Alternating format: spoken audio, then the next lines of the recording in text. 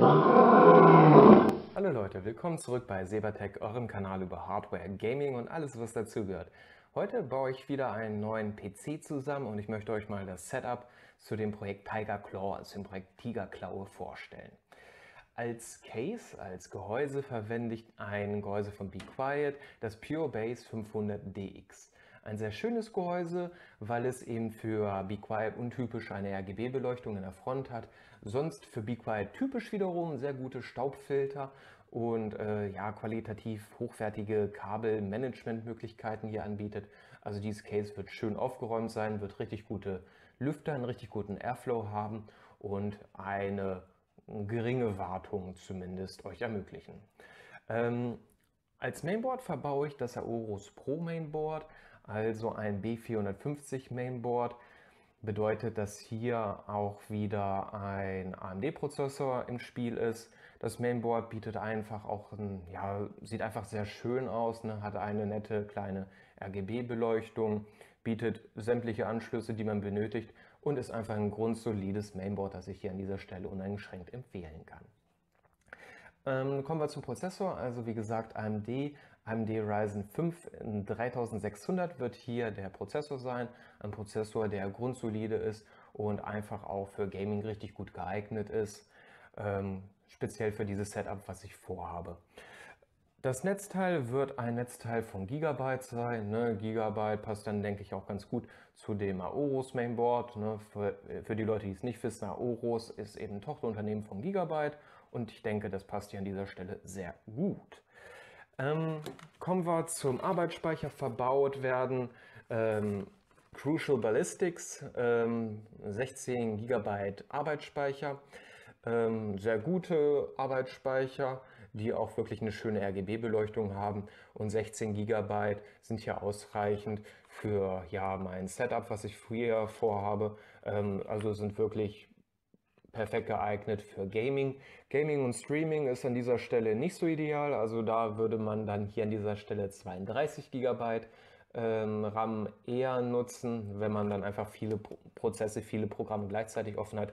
Aber hier für Leute, die einfach nur gamen wollen und einfach nur Spaß beim Spielen und ja, bei einfachen Anwendungen am PC haben, äh, 16 GB völlig, völlig ausreichend zurzeit.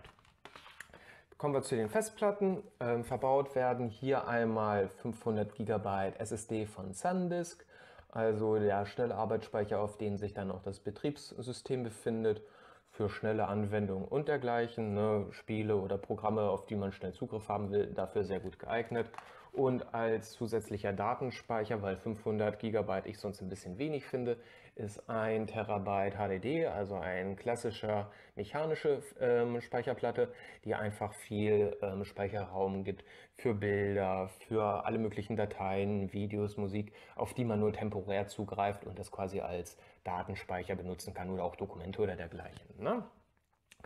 Ähm, kommen wir mal kurz, muss mal kurz rascheln. äh, zur Kühlung vom Prozessor.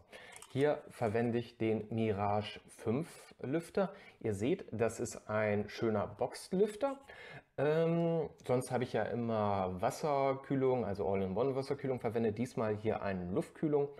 Ähm, ist einfach hier wesentlich günstiger und hat den Vorteil, dass diese Lüftung halt auch eine sehr schöne RGB-Beleuchtung hat. Es passt gut in das Case rein und hat einfach auch eine sehr gute Leistung. Ne? Untypisch ist hier, dass das Ganze so eine runde Form hat.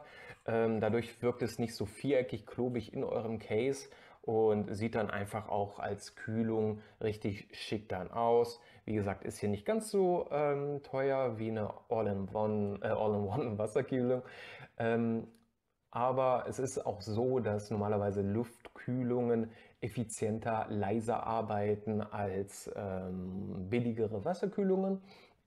Und deswegen dieses Case, ähm, ja, kombiniert mit Be Quiet, wird einfach ein sehr leises Case sein, sodass ihr beim Gaming kaum störende Geräusche nebenbei haben werdet.